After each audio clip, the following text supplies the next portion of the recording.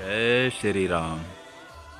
आज नर्मदा परिक्रमा का दिन बहत्तर, जो कि शिनौर गाँव से चलकर बरकल गाँव तक आए हैं। ये दूरी लगभग 16-17 किलोमीटर होगी अंदाजन।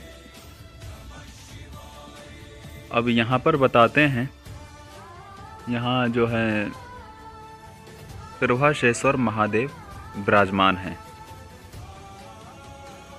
कहते हैं कि सूर्य की जो अर्धांगिनी है, उन्होंने यहाँ पर शिवलिंग स्थापित करी तथा तपस्या की थी।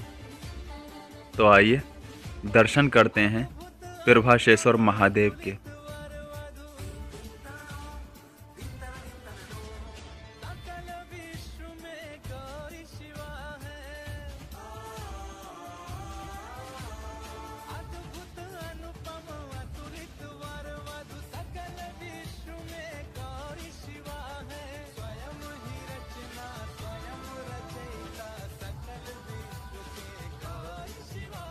बहुत ही दिव्य दर्शन हैं इनके।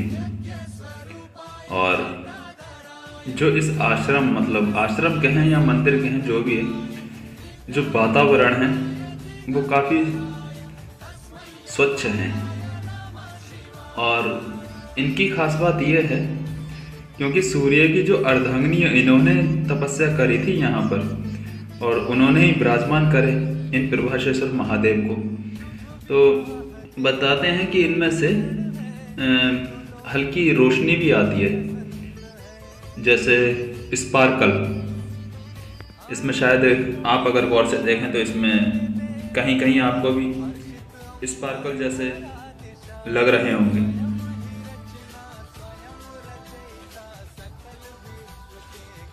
अद्भुत झांकी है। बहुत ही सुंदर है ये।